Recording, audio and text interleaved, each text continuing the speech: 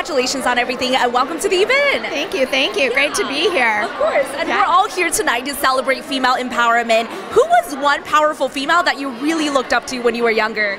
Oh, definitely my mother. I mean, she was amazing. A single mom, raising me, working. Um, she, uh, she, she's spunky. She's funny. She's sarcastic and dry, and she's a hard worker, and she's a giver.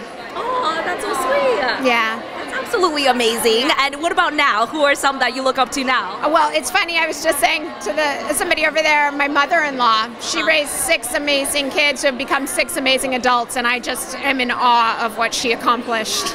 yeah, That's really incredible. yeah, yeah. She's a cool woman. Absolutely. And oftentimes, you know, women face a lot of stereotypes, especially in Hollywood. You know, um, there's a lot of typecasting going on. It's like they label you as sexy, not smart, you can't do anything else. Have you kind of, you know, have you kind of gone through those experiences in your career? I have. Um, mostly when I was on Dawson's doing Andie, everybody thought that I was kind of more the dork, dorky, quirky type.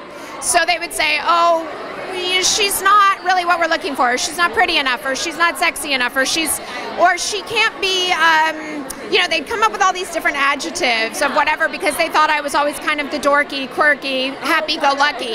Yeah. Okay. Yeah. So how were you able to like surpass it? you know, you just. I, I believe in everybody gets a chance, and so I would say to my agents, just get me in, just even if it's five minutes, just so I can show up and say hi. And if they still aren't interested, then that's fine. But at least we did our job.